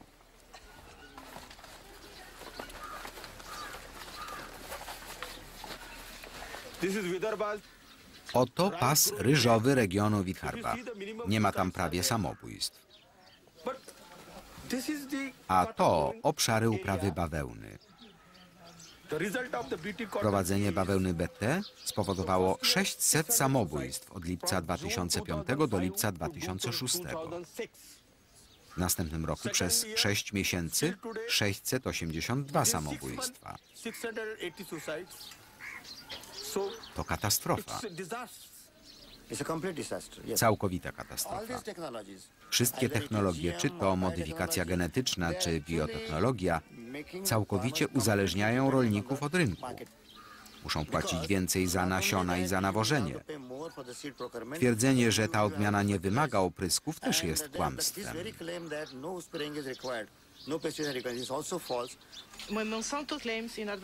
Gdy Monsanto twierdzi, że uprawy transgeniczne nadają się dla drobnych rolników, co pan myśli? Nasze doświadczenia wykazały, że to nieprawda, zwykłe kłamstwo.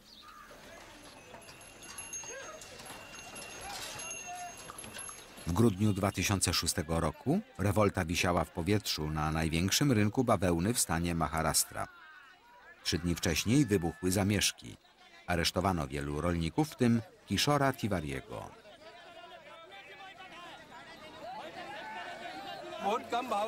Dają dużo niższą cenę. Ile pożyczyliście? 32 tysiące rupii. 60 tysięcy rupii. 50 tysięcy rupii.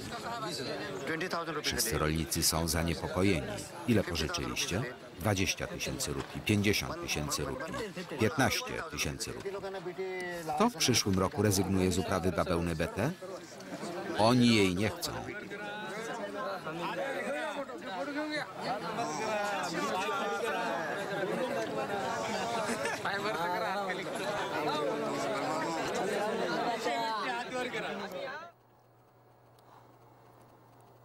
Nasiona samobójstwa.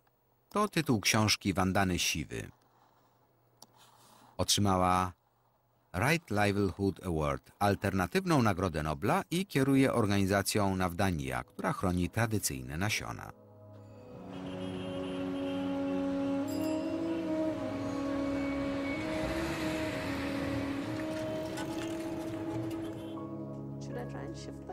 Siwa walczyła z pierwszą zieloną rewolucją, która w latach 60. przyniosła do Indii uprzemysłowione rolnictwo.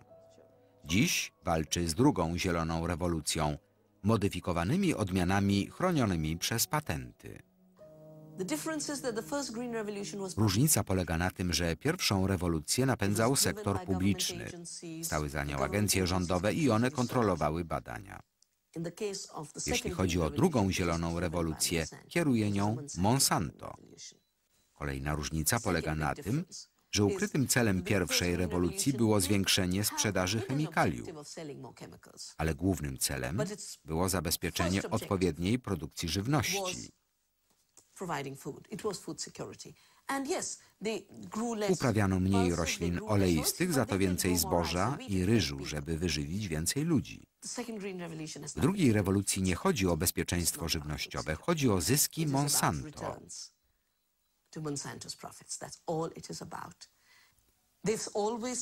Zawsze twierdzili, że inżynieria genetyczna jest metodą na zdobywanie patentów. Ich prawdziwym celem jest patentowanie. Jeśli popatrzymy na prace badawcze Monsanto, obecnie testują 20 gatunków z wszczepionym genem BT. Zajmują się wszystkim. Gorczycą, ochrą, bakłażanami, ryżem, kalafiorami. Gdy doprowadzą do ustanowienia prawa, że nasiona mogą być ich własnością i mogą pobierać za nie opłaty, będziemy od nich całkowicie zależni, jeśli chodzi o materiał siewny. Jeśli będą kontrolować nasiona, będą też kontrolować pożywienie. To ich strategia. Żywność jest potężniejsza od broni. To najlepsza metoda kontrolowania ludzkości. W odpowiedzi na zarzuty pani Siwy Monsanto obiecuje integralność, dialog, przejrzystość i dzielenie się z innymi. Chcemy brać konstruktywny udział w procesach, w których społeczności świata próbują odpowiedzieć na pytania, czy te produkty są bezpieczne dla środowiska, jak wpłyną na bioróżnorodność, jak wpłyną na inne rośliny, owady i ptaki, co z krzyżowaniem się genów, co będzie, jeśli geny skrzyżują się z dzikimi gatunkami. Dla mnie oznacza to uważne i pełne szacunku poznawanie różnych punktów widzenia. Mimo spokojnego tonu, Robert Shapiro poruszył ważny temat niepokojący przeciwników GMO. Skażenie transgeniczne, które Monsanto woli nazywać przypadkową obecnością, która jest częścią naturalnego stanu rzeczy. Według badań przeprowadzonych przez profesora Ignacia Chapelli z Berkeley, GMO już skaziły meksykańską kukurydzę. Gdy czasopismo naukowe Nature opublikowało wyniki badań, pojawiły się kontrowersje.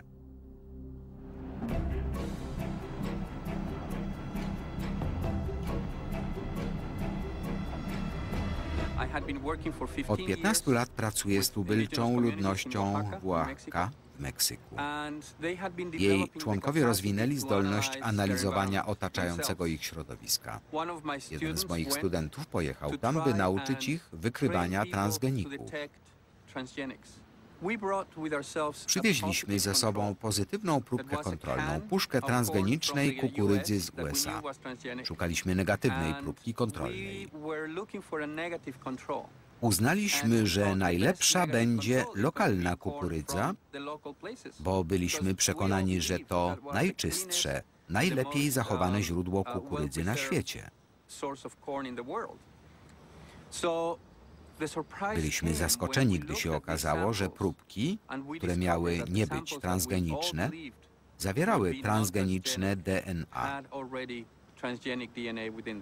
Bardzo nas zdziwiło, że gatunki kukurydzy, uprawiane lokalnie od ponad 10 tysięcy lat, już zostały skażone transgenikami z USA. had already been reached by transgenic contamination, mostly from the US.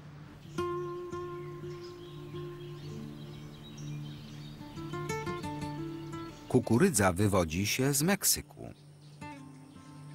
W południowym rejonie Oaxaca można znaleźć ponad 150 lokalnych odmian. Tak duża bioróżnorodność jest skarbem i Światowym Bankiem Genów kukurydzy.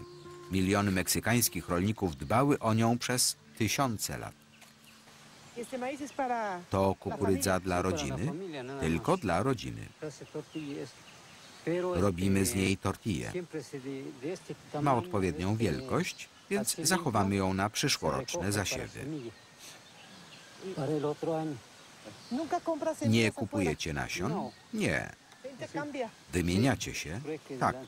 To nasz odwieczny system wymiany.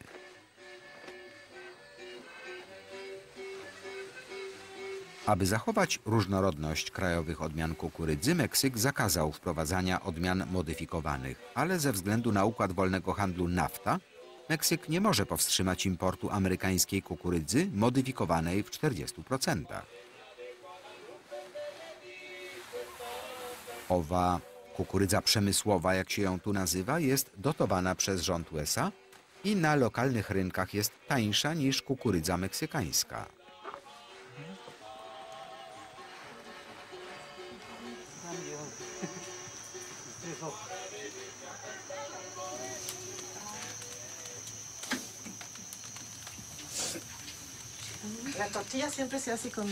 Zawsze robicie tortillę z lokalnej kukurydzy? Tak, jest naturalna i bardziej wydajna. Jest bardziej pożywna, bo wyrasta z czystej gleby.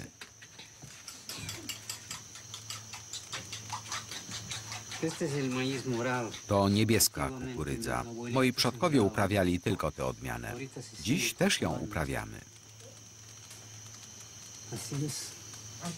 Istniała przed hiszpańskim podbojem, owszem, ale teraz mamy inny podbój. To znaczy?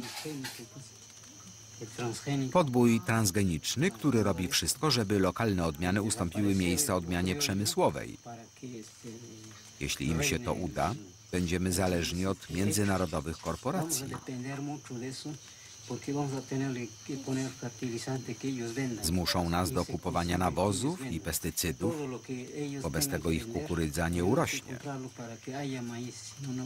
A lokalne odmiany świetnie rosną bez nawozów czy herbicydów. Spójrzcie, jakie to piękne.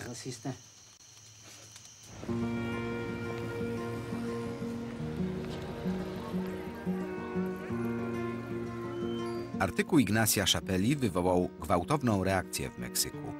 Krajowy Instytut Ekologiczny potwierdził skażenie lokalnej kukurydzy.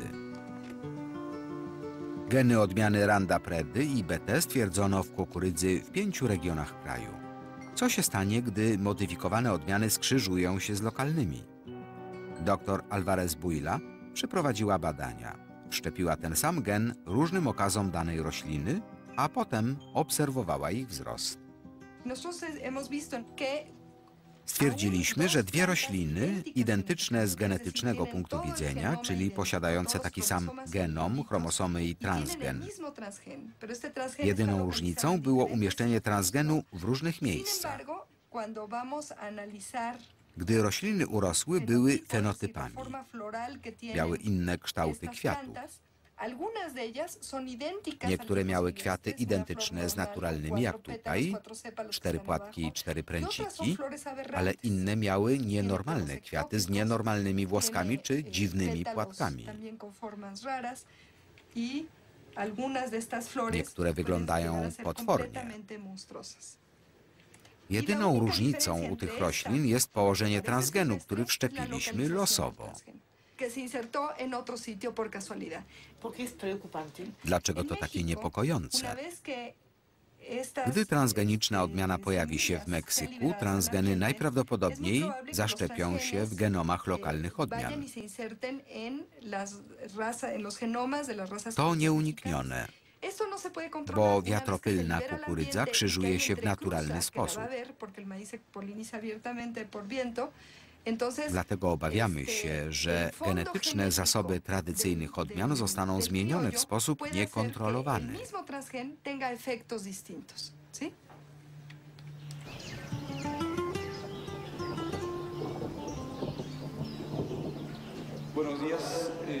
Witam. Zaprosiliśmy Was, by porozmawiać o nowych chorobach, które dotykają naszą kukurydzę z powodu transgenicznego skażenia.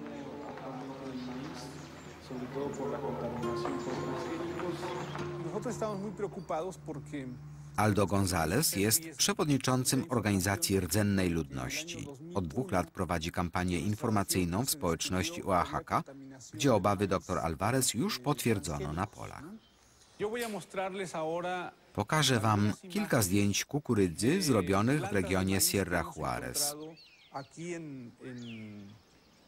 Chcemy zapytać, czy widzieliście już takie rośliny u siebie.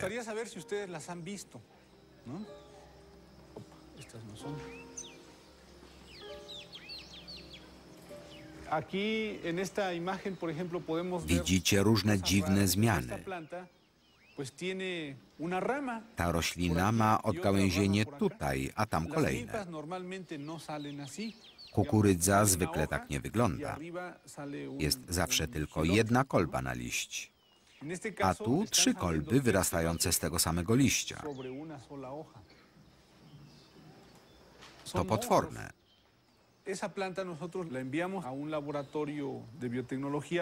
Wysłaliśmy próbkę do zbadania, czy nie zawiera modyfikowanych genów. Niestety wynik był pozytywny. Zwykle widujemy takie rośliny przy drogach lub na podwórzach.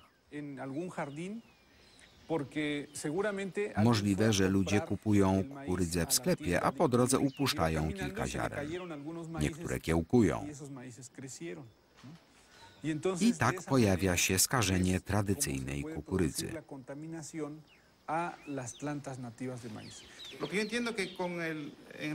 Z tego, co mówisz, Wynika, że jeśli nie powstrzymamy tego procesu, niedługo będziemy musieli kupować ich ziarno, bo nasze już nie będzie dobre. To straszne, co mamy robić. Po pierwsze, gdy zauważycie dziwną roślinę, musicie natychmiast usunąć pręciki, bo to z nich pochodzi pyłek. Trzeba czuwać nad własnymi uprawami.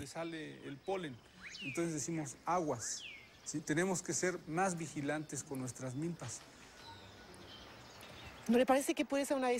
Nie uważa pan, że to nowa strategia Monsanto, czego się nie udało osiągnąć legalnie, próbują dokonać poprzez skażenie?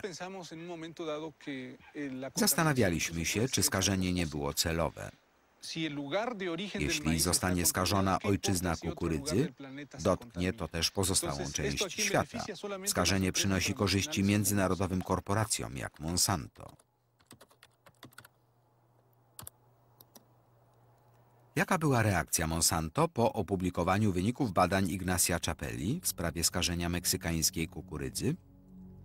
Podstępna kampania Monsanto przeciwko zwolnionemu z Berkeley profesorowi Chapeli. Artykuł napisał Jonathan Matthews, przewodniczący GM Watch, angielskiego serwisu informacyjnego o transgenicznych odmianach.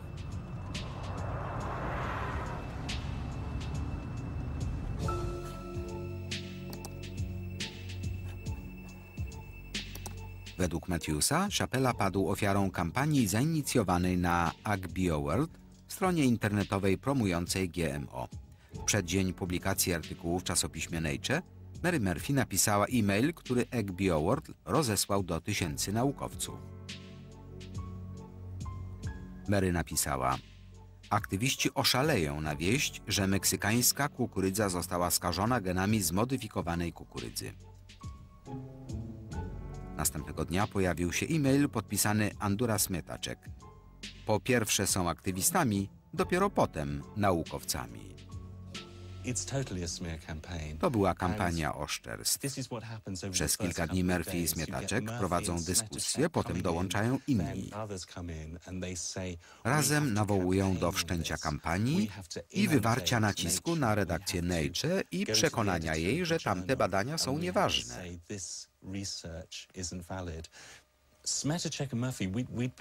Namierzaliśmy obu internautów, żeby ustalić, kim są. Jeśli chodzi o Smietaczek, sprawdziliśmy techniczne nagłówki e-maila. Otrzymano od, po czym widnieje numer IP. Trzeba skopiować adres i wkleić na stronie rejestracji. Co zobaczyliśmy? Nazwa organizacji firma Monsanto z siedzibą w St. Louis. Organization name Monsanto Company and based in St. Louis. Then Mary Murphy left behind Mary Murphy też zostawiła ślady, dzięki którym udało się nam ustalić jej tożsamość. Znaleźliśmy adres IP bw6.bigwood.com. Stwierdziliśmy, że to nazwa agencji PR Bimming Group. Szybko odkryliśmy, że jednym z jej klientów jest firma Monsanto, której wizerunek kreowała owa agencja.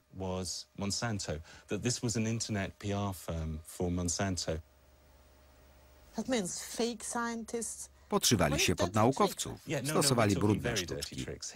Tutaj nie obowiązuje żadna etyka. Mamy do czynienia z organizacją, która chce wprowadzić swoje produkty do wszystkich krajów świata. i jest gotowa zniszczyć każdego, kto stanie jej na drodze.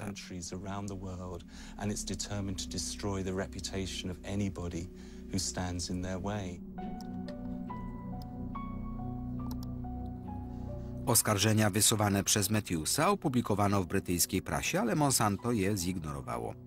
Rosnąca w siłę korporacja lansuje wizję transgenicznego świata, który harmonijnie rozwiąże problemy głodu i zanieczyszczenia środowiska. Praktyka jasno pokazuje, że współistnienie biotechnologicznych, konwencjonalnych i organicznych upraw jest nie tylko możliwe, ale już dokonuje się na całym świecie.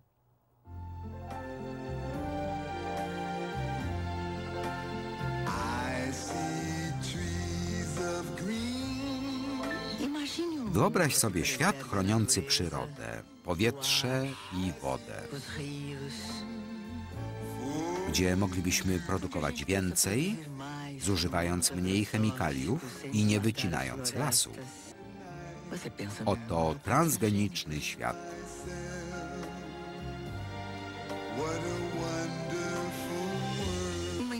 Inicjatywa Monsanto finansowana z pomocą Brazylijskiego Towarzystwa Dietetycznego.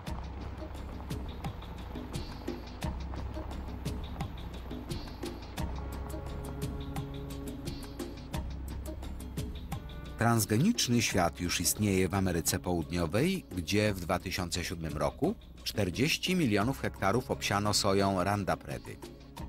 Podbój rozpoczął się 10 lat wcześniej w Argentynie, jedynym kraju oficjalnie zezwalającym na uprawy transgeniczne. Od tamtej pory uprawy GMO tajemniczo rozprzestrzeniły się na sąsiednie kraje Brazylię i Paragwaj. W 2005 Paragwaj zalegalizował owe uprawy, żeby zachować możliwość eksportu soi do Europy, której oznaczenia GMO są obowiązujące. Dla Ministerstwa Rolnictwa było to uznanie stanu faktycznego. Musieliśmy zezwolić na modyfikowane uprawy, bo już i tak trafiły do naszego kraju, choć w dość niekonwencjonalny sposób. Czy wie pan, jak transgeniczne nasiona trafiły do kraju przez czarny rynek lub przemyt?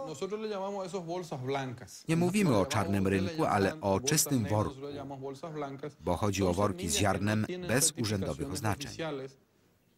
Czy firma Monsanto odegrała tu pewną rolę?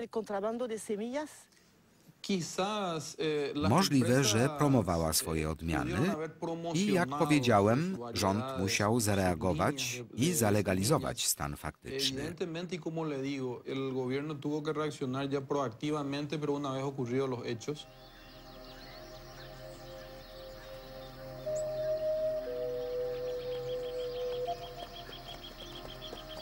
Jakkolwiek do tego doszło, dla Monsanto kontrabanda się opłaciła. Gdy zalegalizowano uprawy, firma dostała prawo do pobierania opłat za każdą wyprodukowaną tonę soi. Tak jak w Brazylii.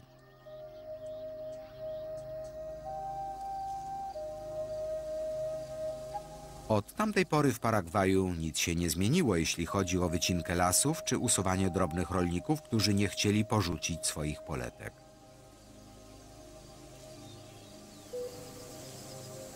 Jorge Galliano przewodzi organizacji drobnych rolników, która walczy z tak zwaną postępującą zieloną pustynią.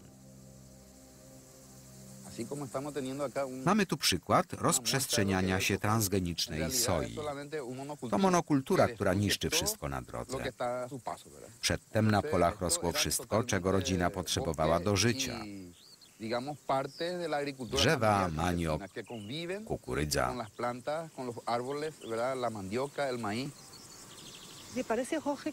Myśli pan, że uprawy transgeniczne mogą współistnieć z uprawami drobnych rolników? Wykluczone. To dwa niekompatybilne modele. Toczy się cicha wojna, która niszczy społeczność i rodziny drobnych rolników. Eliminuje też różnorodność biologiczną. Przynosi śmierć, biedę, choroby i zniszczenie zasobów naturalnych, dzięki którym żyjemy.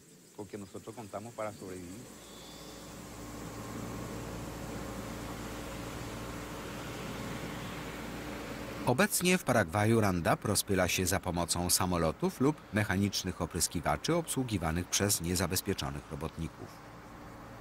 Opryski prowadzi się tuż przy domach rolników lub w pobliżu ich pól. Co roku niszczone są uprawy, a tysiące osób ulega skażeniu. Jak w tej rodzinie otoczonej przez transgeniczne uprawy Monsanto. Rodzice martwią się o syna Pedra, bo codziennie przechodzi przez pola soi, żeby sprzedać zrobione przez matkę tortille.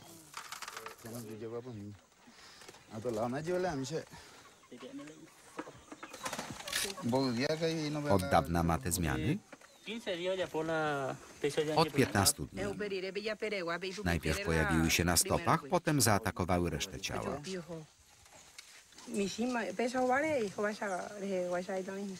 tambe pure Syna boli głowa?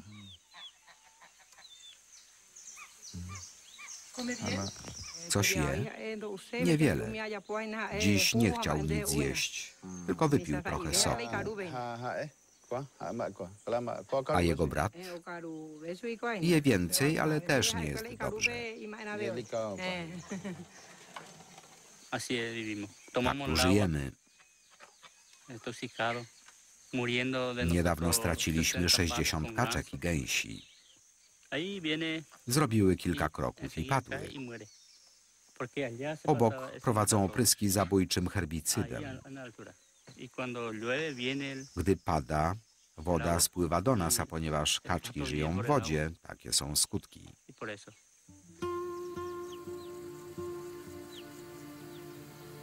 W Paragwaju 70% ziemi uprawnej jest w rękach 2% ludności.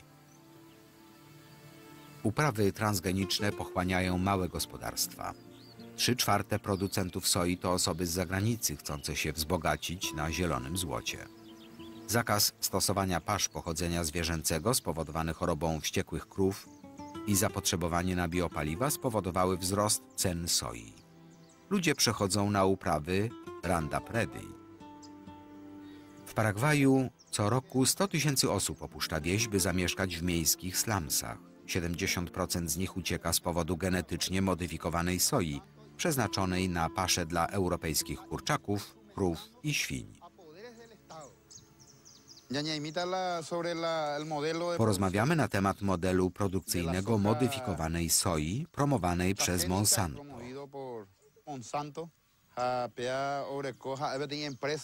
To międzynarodowa firma działająca na całym świecie. Jej celem jest przejęcie kontroli nad produkcją żywności poprzez tworzenie farm bez farmerów.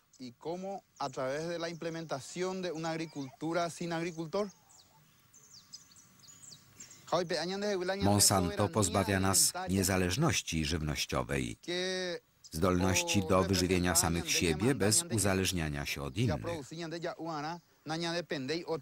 Dlatego musimy walczyć o swoją niezależność, o naszą ziemię. Musimy bronić naszych społeczności, rodzin i naszego kraju.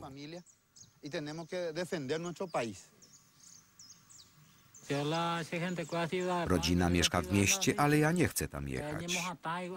Tam trzeba wszystko kupować, nawet jedzenie. Tu plony są nasze. Możemy jeść, co chcemy. W mieście to niemożliwe. Jak się nie ma pieniędzy, trzeba szukać jedzenia w śmietnikach. Chciałabym dodać, że walka o przetrwanie nie dotyczy tylko tych rodzin, ale nas wszystkich. W 2007 roku firma Monsanto zatrudniała 18 tysięcy pracowników w 50 krajach. Akcje firmy szły w górę, a jej zyski sięgnęły miliarda dolarów. Jej akcjonariuszami są nie tylko fundusze emerytalne i banki, ale także setki tysięcy drobnych inwestorów.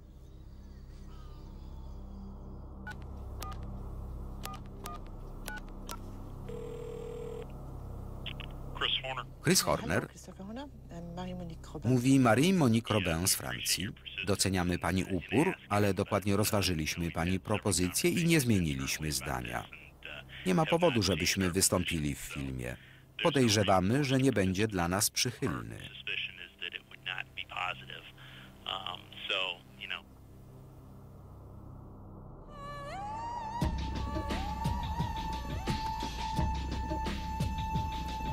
Wersja polska Kanał Plus. Tekst Monika Szpetulska czytał Janusz Szydłowski.